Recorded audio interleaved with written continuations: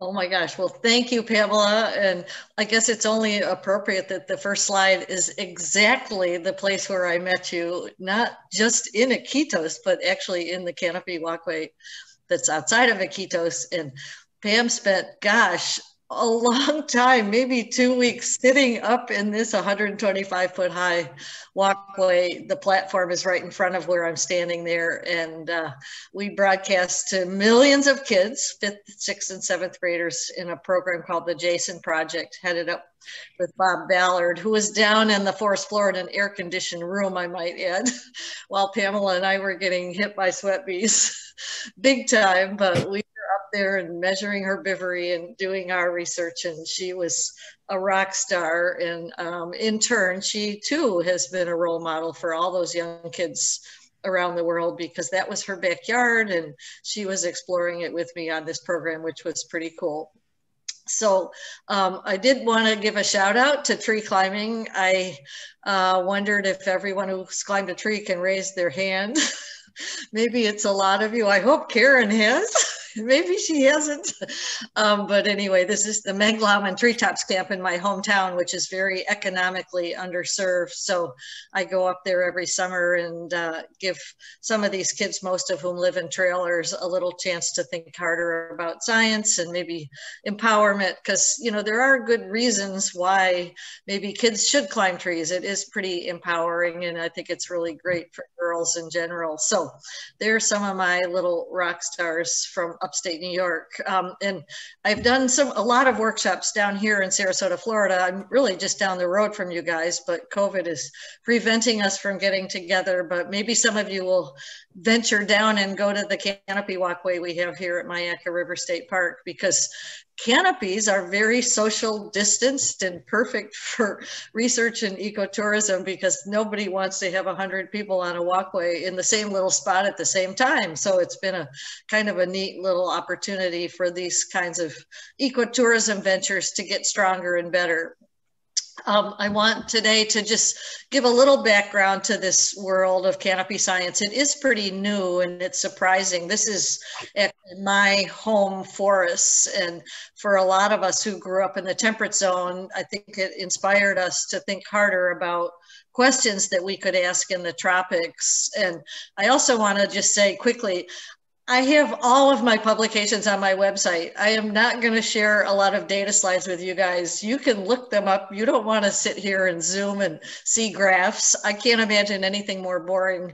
And if you were home looking at graphs, you would probably go get a gin and tonic and not even listen to my presentation. So I really want to talk and discuss some of the things that I feel are important coming out of my lifetime of tropical rainforest research and maybe share those ideas with those of you who are embarking on this journey as scientists, because there are a lot of things I never thought about when I was just in graduate school, but now I do. And so I think it's important to jumpstart you guys. The tropical rainforest is going away pretty rapidly. So I think business as usual is not an option. But I'm giving a little homage here to those temperate forests that did inspire a lot of us. And I guess as some of you know, um, I grew up in a pretty small town. I was a really shy kid. And um, there I am with my fifth grade wildflower collection that I entered into the science fair and got a second prize and thought I was Marie Curie for sure. But, you know, those moments are far and few between, especially because I think I was the only girl at the whole science fair. And um, in those days, it just wasn't the done thing. I never had a woman science teacher, actually. So I do, Pamela's right, you know, try to spend a, a lot of time mentoring women in science as well as boys because i'm the mother of two sons. And um, so i think it's important for all genders to understand science to do science. And especially right now in the our country we need to create a lot more trust in science. So those are pretty daunting challenges for all of you who might go into this field. And hopefully do more than collect wildflowers but it sure was a fun way to spend my childhood the other little secret about my growing up is that my next door neighbor was this really weird guy. We were both the two weirdest kids in our high school. I collected wildflowers and bugs, and he made blue jeans and sold t-shirts and his name was Tommy Hilfiger. And so the funny thing is that, you know, both of us were about the only people that ever left our small town. And of course, if you have a choice between fashion and science, I would do the fashion because I think he could probably afford to save half the rainforest of the world. But it just goes to show you never know what your friends might become. So be nice to everybody. And uh, Tommy's writing a cover review for my book, so that's been really fun. Just because, again, I would be foolish not to want to try to get diverse people to read a book about the canopy. I don't want to have just scientists reading my book. So in some ways, he can open a lot of doors for me. And I'm still waiting for this fashion line of canopy clothing to come out, but not sure there's an audience for that yet. and that's his sister in the middle. She's my best friend to this day. Um, so what's going on? We all, I think, have this appalling and humbling view of really what is happening to our rainforests. Um, I was interviewed by the BBC last fall for one of their programs with the one question, what happens if all the trees in the world disappear? And I think we all know the answer to that, but most human beings don't. Most of the public doesn't really get it and they don't really understand that, you know, losing forests in California, Australia, Brazil, Siberia, all of these other places where we've had huge fires and excessive clearing is truly a disastrous event for our planet. And it makes me as a scientist think to myself, we really need to do things differently. Um, one of the canopy uh, conferences in India about 10 years ago where Tom Lovejoy gave a keynote talk and Kamal Bawa and a couple other really great names in the trade. Um, the first chapter of the proceedings was a couple of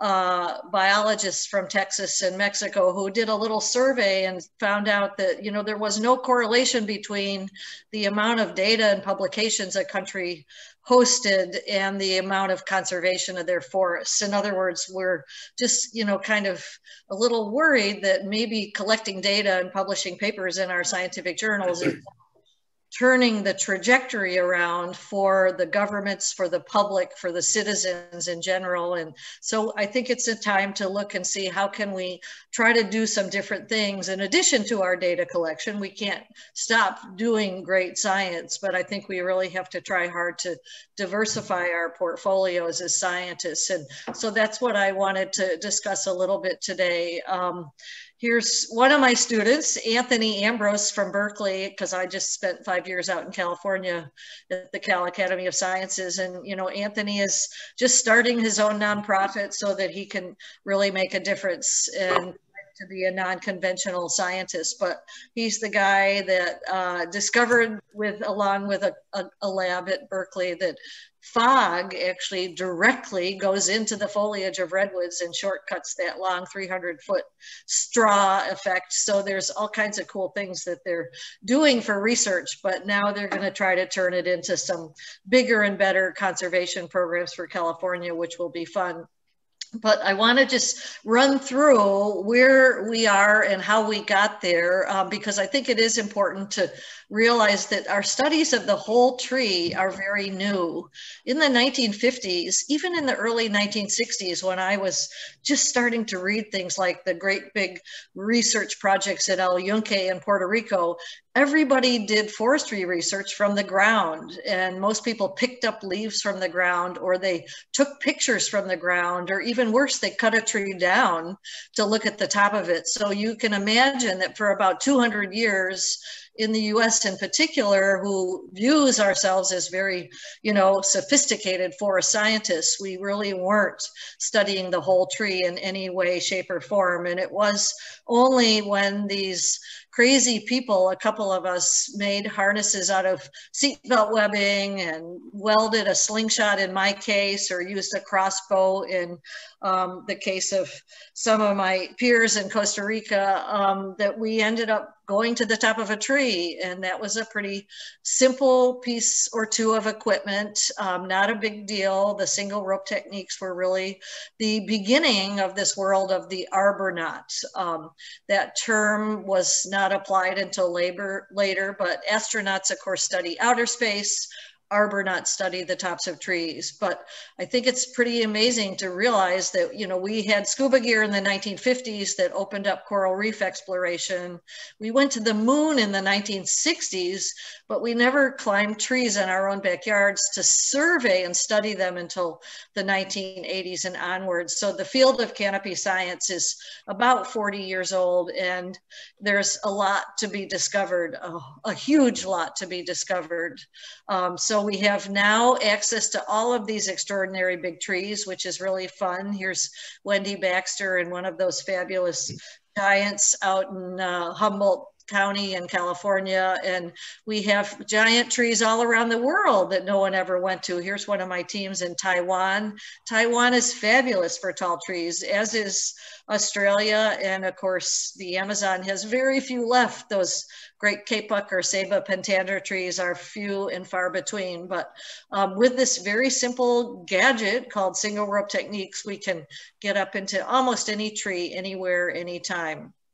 So that led us to realize that probably half of the species in the world live in the tops of trees. So that's a pretty extraordinary amount. And according to conversations I've had with Ed Wilson, we probably figure that 90% of that has yet to be classified or really understood or numbers known or anything about them. So we have a pretty huge void still in the world of forests, even though we now know because of whole tree research that forests are critical for keeping us alive. So we've got a lot of catching up to do and we have to do it pretty quickly if we're going to have any success. Um, for the general public, they're always astounded. I try my best now to speak at business schools or corporate groups because they are clueless about the fact that carbon is stored in trees and medicines came from trees and that tree canopies cleanse water and make the quality of fresh water much better to drink. And of course, they are clueless about the fact that half of the species in the world live up there. So we have to really do a blitz on sharing this type of knowledge with diverse stakeholders all the time, I think, if we're going to turn around forest conservation in any effective manner. Um, so to do that, of course, we started developing a few more tools in the world of arbornauts. And after the single rope techniques, uh, we saw the introduction of these canopy walkways, which made it much more accessible. This, um, this provided a lot more equity for people to access the canopy. And I was part of a little uh, wine drinking event in Australia one night when the head of an ecotourist lodge and I designed this walkway on the back of a napkin, having drunk a great bottle of Australian red wine, and ended up building this in southern Queensland as the first ever canopy walkway open to the public. There had been some kind of crazy structures for Operation Drake out of Oxford and some of the other research expeditions over time, but not a full-fledged public walkway. And soon after, Lambir National Park got its walkway designed by Illar Muul, who's unfortunately passed away recently. Um, and lo and behold, we started building these structures, which allowed people with wheelchairs or little children or whole families to access the canopy and appreciate it rather than just having one person dangle from a rope. Um, here is Myakka. I hope all of you have been there. You should be raising your hands if you have, because it's two hours down the road from Gainesville and a half a million people visit this walkway a year. It's responsible for about $25 million or more of income to Sarasota County just because people invest in hotels and restaurants when they come here. And it's a fabulous way to share the Florida forests with all the school kids here who have never, of course, seen the view from the top and never quite appreciated something like an epiphyte that lives in the tops of trees. So this very simple structure, it costs $150,000, really turned around a lot of people's perspective about Florida forests, which is really great. Um, these third graders, some of you older faculty like me might remember, but we did a survey and found these kids found an invasive weevil eating some of the bromeliads and lo and behold, they got to be published at the age of 10.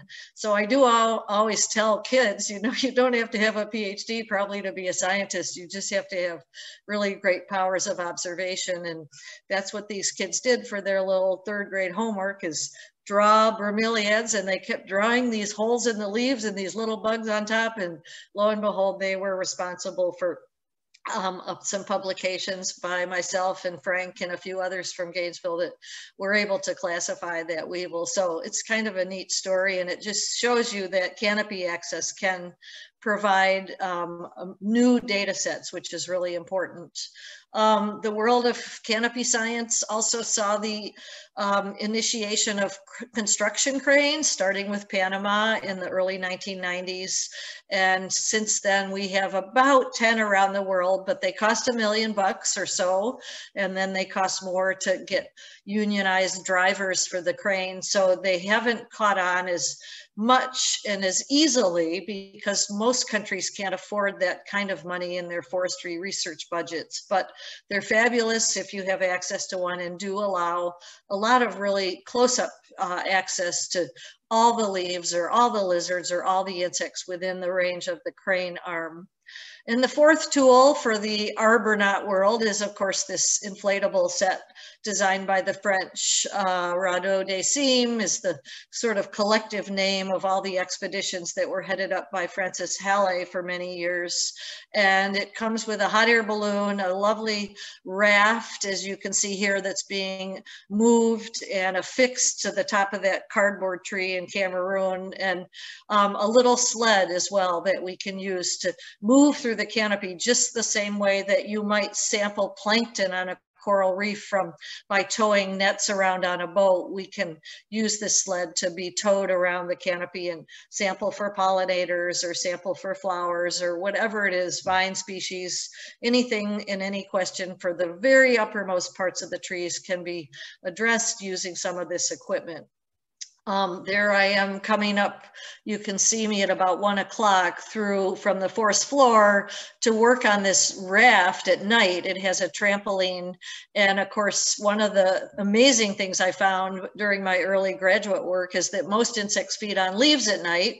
That's what I call hit you over the head science. It makes sense, of course, that they would try to avoid bird predation by day by feeding at night. And we even had these cute little Velcro uh, hand uh, uh, operations where you could stick your hand through and grab a bug or grab a leaf or do whatever you had to do, or you could dangle off the edge of the raft to collect specimens. Um, so that was a great way for me to work at night using this base camp up in the canopy.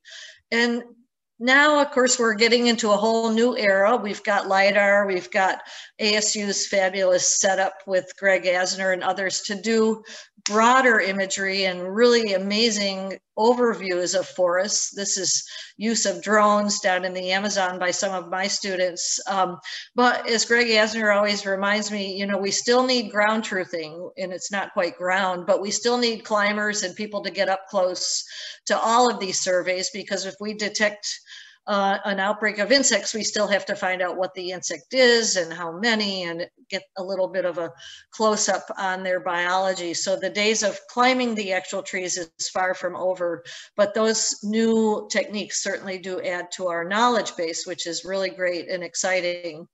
And from all this whole tree research, rather than a focus on the forest floor, we now recognize, of course, that trees are absolutely essential for life. And we now have a much better sense of carbon storage. We have a better sense of the dynamics of the canopies and the productivity and all of the interesting climate impacts that trees have and whole forests have on controlling the destiny of humans as well as all of the planet in general. So it's a pretty significant time, I think, to think harder about how we should spend our time studying these amazing systems and what types of outcomes we hope we might have. Um, so with that, I do want to talk a little bit about using these canopies in some way that um, becomes a bit charismatic. Let's face it, it's a fabulous thing to have a science where most people did it as kids. A little bit of tree climbing plays into most people's lives. And this is still a very huge focus on a lot of ecotourism in the tropics. So maybe there are ways we can use this canopy knowledge to the betterment of saving forests. Um, and this is the same walkway that Pamela and I did the Jason project on. This uh, picture here just illustrates the depth and breadth of one of these experiences. And this kind of inspired me. I did a little economic survey in like 2008 and 2009. It's published in Biotropica, where I took three walkways and figured out how much money it was bringing into the community, how many people were employed, and what was the prognosis for conservation. And this walkway alone was hiring 117 families every year at the time I did that publication who were guides, cooks, ecotourist lodge operators, and had a very sustainable income at that, which was so different from the logging industry.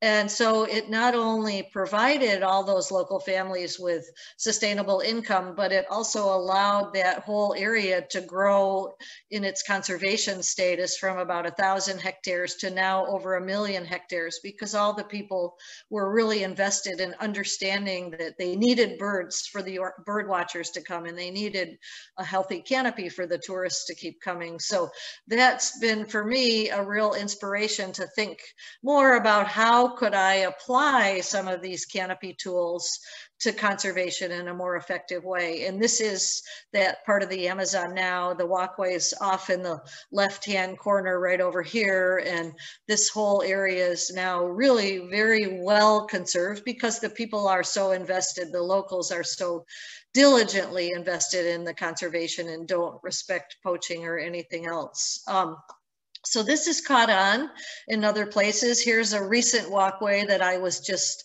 uh, really honored to be part of. Um, and this one was for me an achievement in two ways. One is a corporate sponsor funded it. So there was only one check and it took about an hour to convince this guy to write that check. And you think about how many NSF grants you write and then someone criticizes them and then you write them again. And you probably spend about three years of your life writing grants or maybe 10 if you're as old as me. Um, and over time, what does that really do for the rainforest? Probably not too much. Um, so addressing this corporate entity and having them fund this entire walkway, which cost about $3 million, and then fund a park around it, which cost about $10 million was, I think, a fabulous outcome. And this is in Penang in Malaysia. And right now it attracts about 2 million visitors a year.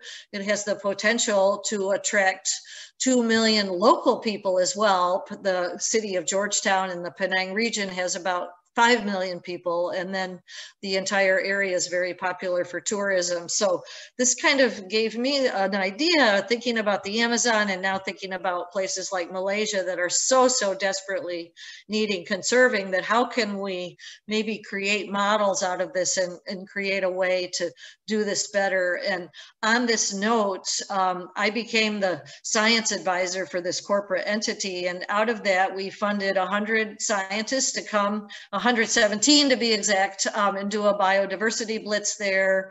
Um, they funded a proceedings that's just getting published next month. Um, and they absolutely are funding now through their foundation, which you should look up if you're a student. The Habitat Foundation um, is funding graduate students and postdocs to come over and do research on this walkway. So everything is leading to something better. And we're taking all the data and we just put in a UNESCO World Heritage nomination for this entire quarter of Penang Island, which because of this canopy walkway will hopefully become a forest preserved in perpetuity so uh, that's a lot of good out of this one walkway and this one check that took one hour to convince a guy to write. So again, just a nice story that has a good ending, we hope. Um, so this has caused me to have long, long lunches with Ed Wilson, whom I've been so honored to be mentored by. And we would sit up in the bowels of that building at Harvard and say, you know, how can we really save half Earth, which is Ed's proposal. You know, we need to save half Earth for all of biodiversity and leave the other half for one species, which is humankind. Um, so, and I also was having the uh, privilege of mentorship over many years by a lady named Sylvia Earle, who is an oceanographer. And Sylvia, at age 86 now, still dives, but she started a program 10 years ago called Mission Blue, where she identifies hope spots in the ocean. And she brings that to the attention of communities. She finds funding for different places to become parks or reserves or maybe have the fishing adjusted. And so she has created almost 100 hope spots in the blue part of the planet. And so I founded Mission Green, which is the hope of creating hotspots or identifying Ed Wilson's hotspots that he already has cited in his book, Half Earth and building canopy walkways in these critical areas that might otherwise take with them some 50% of the world's biodiversity. So you'll see the red dots representing walkways that we've already built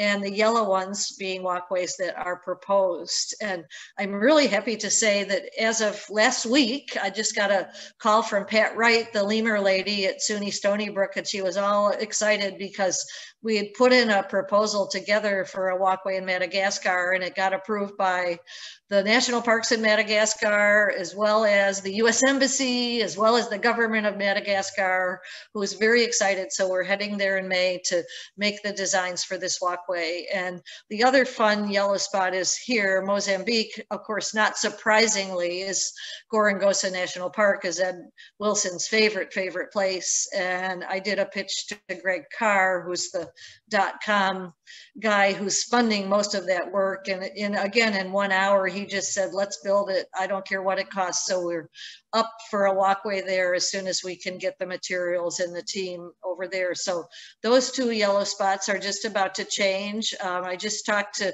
the head of ATREE in India about having a cool walkway up probably down here. That dot's probably a little bit off by my terrible graphics in the middle of the night. But anyway, um, we're also planning one in Bhutan, and I think that's what that yellow dot is. So things are happening, which is great, and we hope that we can continue the momentum to make sure that in these places, local people get funded and trained to operate, and then students get also funded to survey the biodiversity and I'm trying to twist Pamela's arm so we might do something together over here in the Amazon. She'd be a great trainer of indigenous people in that region. I don't know why I would ever think of her. and um, we could be a team together again, which would be fun if we could figure out some funding to get her down there um, in the near future to use that exemplary walkway. So that's just a little bit about what I'm doing since Karen Kainer asked me that earlier, um, trying to get Mission Green off the ground. Um, I have a wonderful science advisory group that does include Ed Wilson as the chair and uh, Peter Raven and Pat Raven and um, a, a, bunch of other folks that have been really, really great to try to guide me because this is not one of those things where we just want to raise a bunch of money and pay rent for office space and print global brochures and send them around the world. We just really want to get out there and save these forests as quickly as we can.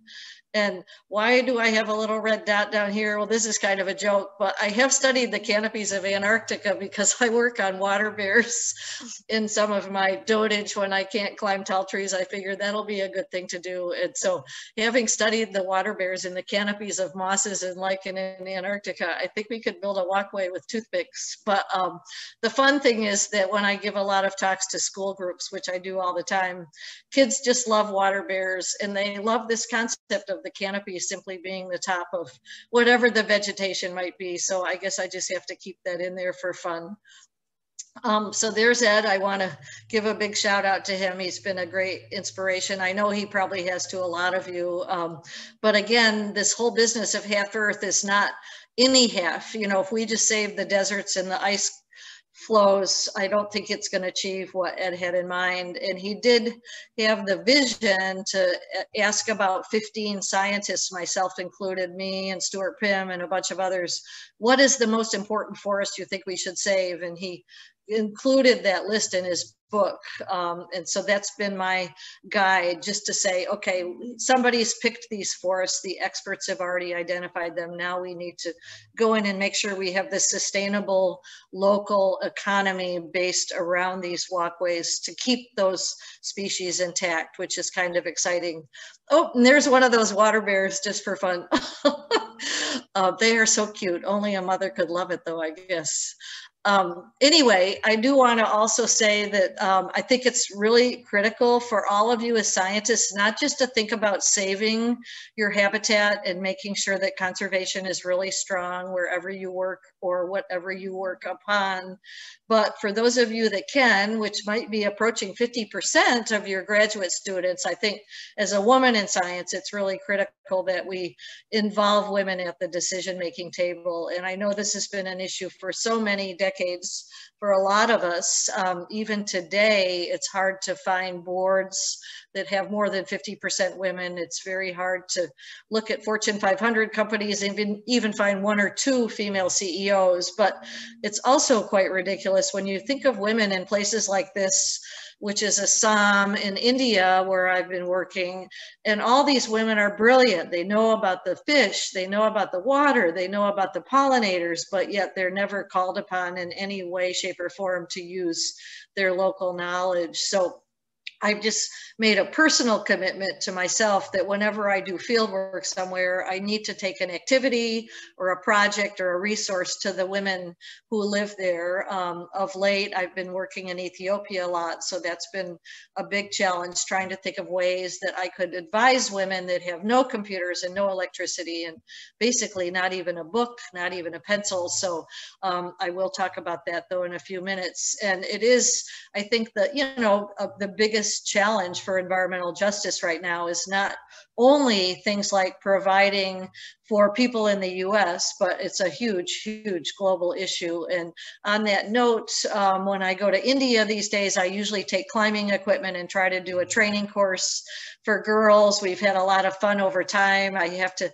usually take something for them to wear because they don't usually climb in those saris very easily. And I did a Fulbright um, in uh, Ethiopia, and I'll talk about that in a minute, where we had to figure out what kind of activities we could do for women that spoke Amharic. Um, this was my last NSF grant, which actually was with kids, mostly girls, I might add, in wheelchairs. Um, this is Rebecca, and she discovered eight water bears, but we just figured out how to take pulleys and adjust the hardware a little bit so that these college students who never ever thought they could do field biology could do it. And, you know, they're always relegated to those indoor tasks. And yet some of them always dreamt about being outside. And so it was a real joy for the last five summers to have a pro project um, that we could use that helped inspire uh, mobility limited students to go into the canopy. So there is hopefully something for everyone.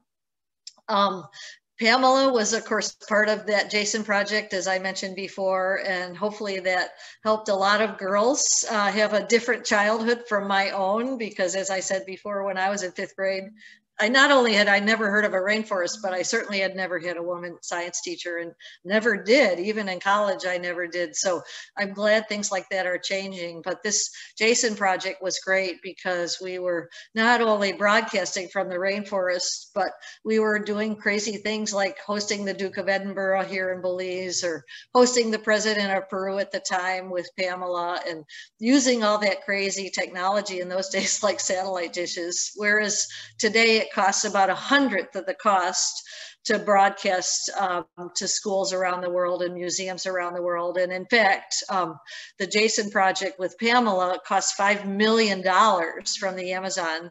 And Bob Ballard did most of that fundraising. I took the Jason project to Malaysia when we built that canopy walkway in Penang, and it cost me $50,000 to take a team, a laptop, and have the connectivity around the world. So that shows you that we can achieve a lot of this for a lot less money, which is very exciting indeed. Um, oh yeah, here's so here are my women in Ethiopia when I was at the largest university in Ethiopia called Jimma University uh, on a Fulbright. One of my was to mentor the women faculty. Well, this is it. They were all the women faculty that there was, and they confessed to me that women could only apply for jobs if men didn't apply. So these were kind of the leftover jobs. And these poor girls were scared to death to talk, but we started a coffee hour and had a lot of fun sharing ideas. And I've been helping some of them get overseas scholarships or experiences to broaden their depth of knowledge. But again, these are just small jobs for those of us who do go internationally to other places, but really important to the people that live there. Um, so that brings me to my third thought, and I think you've already seen a couple examples like these corporate sponsors of some of our canopy work. I think it's also important in time to look at diverse stakeholders when we reach out for our research. And I got a lifetime lesson in this when I ended up working in Ethiopia, quite by chance, I might add. I was the treasurer of ATBC for a long time. And when we were in Morelia, Mexico, long ago and far away, say 12 years ago, um, I happened to meet the only forest conservation biology student in Ethiopia Alemayehu Wassie Eshete, who was just had got the student prize, and I gave him the little hundred dollar check and said, "Congratulations! What next?" And he practically burst into tears and said, "I don't know. I'm the only person working to save the forests in all of Ethiopia." So it kind of gave me a bit of a uh, pause in my life. And I guess you know what the outcome was. Suddenly, I found myself funding him to come to Florida and writing a grant with him for National Geographic. And lo and behold, I ended up being the first white person to get a memorandum of understanding from the Coptic Church in Ethiopia to come and study their forests, which are pictured here. The last remaining forests of northern Ethiopia are these little dots called church forests. And you can see it's less than 5% of the landscape. The rest of this landscape is subsistence agriculture, which they desperately need because they don't have irrigation and they don't have efficient crop yields. Um, but these little church forests, as you can see a little bit closer, are where all of their biodiversity is housed. All of the insects, all of the mammals, nothing lives out here very successfully. And for the most part, these forests are degrading because cattle come in and eat the seedlings and saplings and people plow around the edges. So that makes the trees die back and get ring barked. The kids come in and pull branches down because they have no idea that the rest of their valley is dry and has no biodiversity because they don't have any aerial images like this and they certainly don't have any books in their schools or computers to give them those visions. So lo and behold, the simple solution here that Alemayehu and I came up with was giving workshops to the priests, number one, so they would start to realize that they were living in a gold mine. And the neat thing about this is that the priests feel they are responsible for all of God's creatures as a conservation biologist, I'm trying to preserve biodiversity. So we actually have the same mission.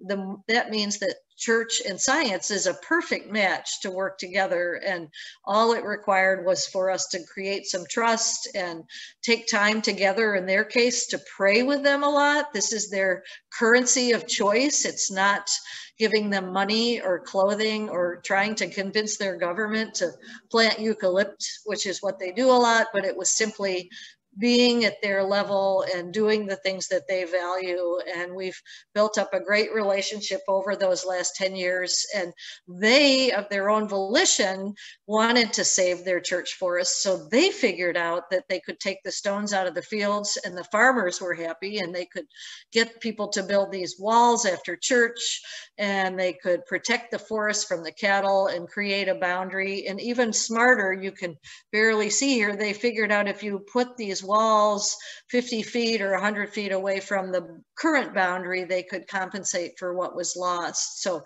here we are blessing a wall. And um, today um, there's all kinds of opportunity for students to go there and study the biodiversity of Ethiopia carefully. People have to be very respectful of the religious culture, but this is one of my teams that did insect surveys with National Geographic funding. And we absolutely, and not surprisingly, discovered lots of new species and data new to science and recognized what a treasure trove these places really are. And you can see the wonderful results of these healthy forests and these amazingly extreme arid uh, landscapes where the crops grow once a year and understand without any kind of fancy science or any technical data that these church forests are critical to the future of this entire country. Um, I've been fundraising to build these walls because it takes a little money to move the stones sometime. It takes a little money to build the gates so people can come and go. And it's really smart uh, business practice to give the church a donation when they build a wall so that we can incentivize them. And so we have a $500,000 program that's not very expensive in this world of ours to save the biodiversity of Ethiopia by walling the 40 highest biodiversity church forests. And we are over halfway there. We have about 200,000 left to raise um, you can go on my website, www.treefoundation.org and send me that check for $200,000. I'd be very grateful. But the amazing thing about this is most of that first 300,000 has come from fifth graders. And when I talk to kids about schools and I show them these pictures of kids in Ethiopia that are losing their forests, almost invariably they host a bake sale or they do a little artwork sale in their fifth grade class and send a check for 75 or 100 bucks. And over the last few years that money has just come in from all over the world. And those kids are really saving these forests not adults and not the ethiopian government but children around the world who just really think that these kids in ethiopia should have their stewardship of their biodiversity as part of their future here are all my little bug counters who come over after school and help us with our research. And it, to that end, I actually made t-shirts for all of them because most of them, as you can see, don't even own a t-shirt. They half of them go to school in the blanket that they sleep in. So they loved getting a t-shirt with a field guide um, in Amharic. These we put the language in both English and Amharic of what all the important pollinators were and